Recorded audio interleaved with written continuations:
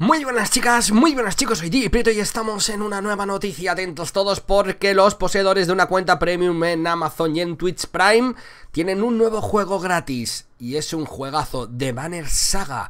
Atentos porque estará gratis y no te va a costar ni un céntimo durante tiempo limitado. Ya sabéis que, eh, pues bueno, el primer de Banner Saga solo estará disponible hasta finales de febrero y así que bueno, si tienes una cuenta, pues no tardes en descargarlo, ¿no? Tenéis que tener una cuenta premium en Amazon y Twitch.